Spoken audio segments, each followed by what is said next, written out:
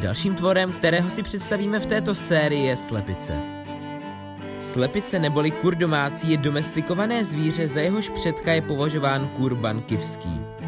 Díky své rozšířenosti se jedná o nejrozšířenějšího ptáka na světě.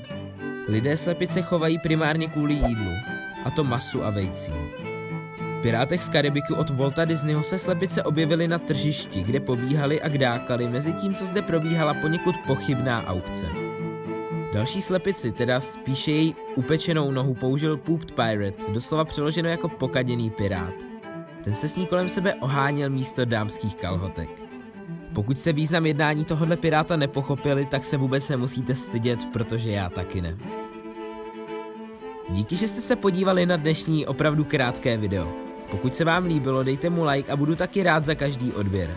Budu se těšit příští středu u dalšího dílu středečních stvoření nebo v pátek u dalšího videa. Captain Jack Sparrow.